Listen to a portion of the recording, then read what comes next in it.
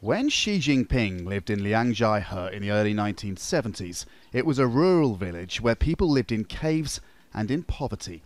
Now, people ride in on electric shuttle buses. Most villagers have left, their home turned into an open air tribute museum honouring the man who's now president.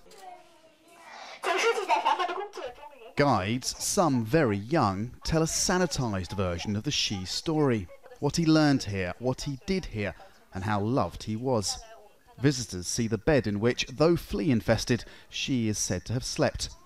They hear how he built dams and dug wells.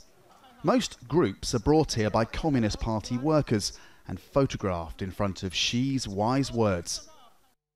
Xi Jinping was born the son of a senior Communist Party member in Beijing, but in 1969 his father fell out of favour. The family was banished by Chairman Mao during the Cultural Revolution. At 15, Xi was sent to remote Liangjiahe. He spent seven years farming infertile land, living and working alongside some of the poorest people in China. They were his formative years. Xi became leader of the local branch of the Communist Party. He'd go on to more senior roles all over China until becoming president five years ago. Xi never forgot Liangjiahe, returning for a visit two years ago. The village has become an important part of who he is, the president with the common touch. I'm happy and excited. This is where Uncle Xi started his long march. All his hard work began here. The official Xi story, one of hard work, honesty, innovation, and empathy, means the president sounds authentic when he demands those qualities of party members and of the Chinese at large.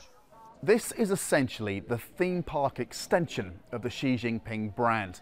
What these people have come to see for themselves is the setting for a story that hundreds of millions of Chinese people are reading about daily in state media and learning about in schools.